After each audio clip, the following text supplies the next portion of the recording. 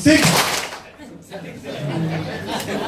దీన్నే అజంప్షన్ అంటారు. మనం చాలా విషయాల్ని మనము ఊహించి ఫీల్ అయిపోతుంటే అలాగే జరుగుతాయి. కానీ ఊహించినవన్నీ జరగవు. నైన్టీ నైన్ పర్సెంట్ మన ఫియర్స్ అన్ని నిజం కాదు. ఊహిస్తాం అంతే. అవి ఏం ఉండవు అసలు. అందుకని మనం అలర్ట్గా ఉండాలి. Okay? So one two three four five six seven game starts no లేదు కదా? Okay. So last opportunity one two three four five six seven game starts now ముందు చెప్పాలి కదా లాస్ట్ కదా. Okay last opportunity game starts now seven six five four three two one చాలా చెప్పింది అనుకుంటే నేను మీకు ఏమన్నా వరుసగా చెప్తానని చెప్పానా? లేదు కదా? సెవెన్ అన్నది ఆపర్చునిటీ అది లైఫ్లో ఎప్పుడన్నా రావచ్చు. నువ్వు సిద్ధంగా ఉండాలి with right knowledge right skills right attitude and then ఆ ఆపర్చునిటీ ఉన్నప్పుడు మనం పర్ఫామ్ చేయగలుగుతాం. పది మంది మనల్ని పొందగలుగుతాం. మనం సంతృప్తిగా జీవించగలుగుతాం. లైఫ్ అంటే live love learn and live a legacy. బాగా జీవించాలి. ముందు మనం ఆరోగ్యంగా ఉండాలి ఫ్యామిలీతో బాగుండాలి. ముందు అక్కడ ప్రశాంతత అక్కడి నుంచే వస్తుందండి. రిలేషన్షిప్సే హ్యాపీనెస్ కారణం. Health happiness wealth. Wealth first ఇస్తున్నారు అందరూ number priority. First health priority. Second happiness third wealth.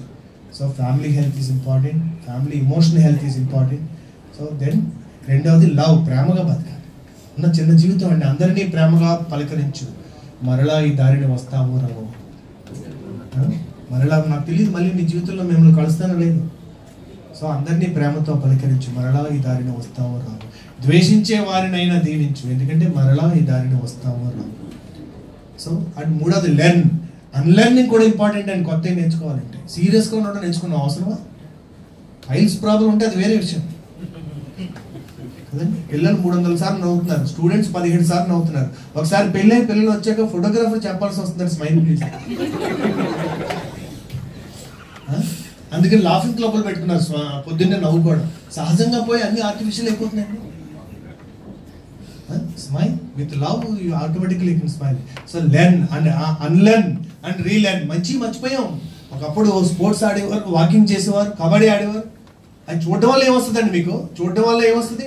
మధ్యలో యాడ్ వస్తుంది వాడు స్పోర్ట్స్ పెప్సీ తాగుతాడు అది తాగితే మీకు జబ్బులు వస్తాయి వాడికి డబ్బులు వస్తాయి.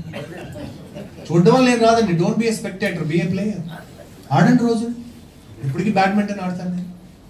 వీ కెన్ ప్లే లైఫ్ అప్పుడు గేమ్ అవుతుంది. ఎప్పుడైతే మనం ఆడతామో ప్లే ఫుల్లీ అప్పుడు చీర్ఫుల్ అవుతాం. సో లెర్న్ కొన్ని అన్లెర్న్ కొన్ని రీలెర్న్ అండ్ కొన్ని లెర్న్ సో అలాగా ఐదవది లీవ్ ఏ లెగసీ. మనం అక్కడ లేకపోయినా కూడా ఆ గుర్తులు వదిలిపోవాలి అంబేద్కర్ గారు ఎప్పుడు మనిషి అండి? ఫిజికల్గా లేడు. ఇంకా మన మధ్యన బతికే ఉన్నాడు. వివేకానంద లేడు ఇంకా బతికే ఉన్నాడు. చాలా గొప్ప నాయకులు. అలా మీ ఫ్యామిలీ మీద మనం ముద్ర ఉంటే ఒకటే గుర్తుంచుకోండి. యు ఆర్ ఎనఫ్ ఎందుకంటే తెలుసా మీకు? యు ఆర్ ఎనఫ్ ఎందుకు తెలుసా అండి? బికాస్ మన డిఎన్ఏ మన అమ్మ నాన్న డిఎన్ఏ కాంబినేషన్లో మనం పుట్టాం. కానీ అమ్మా నాన్నలు మళ్ళీ అమ్మ వాళ్ళ పేరెంట్స్ వాళ్ళ పేరెంట్స్ వాళ్ళ పేరెంట్స్ అమ్మ తరం ఇటు నాన్న తరం ఎంత ఇన్ని జనరేషన్ జీవించారో ఆ best qualities of DNA combination కలిపి నువ్వు పెట్టేవాట. ఎందుకంటే ఇన్ని జీన్స్ కొన్ని కోట్ల జీన్స్ పోటీ పెడితే ఆ తల్లి గర్భంలో ఒకటే ప్రవేశిస్తుంది.